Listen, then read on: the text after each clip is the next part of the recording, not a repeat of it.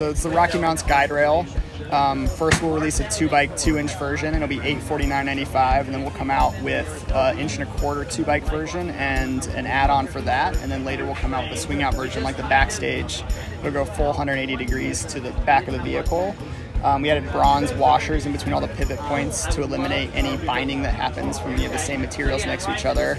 And we came up with a ratchet mechanism that allows it's double action that allows you to actually open it with just a single hand.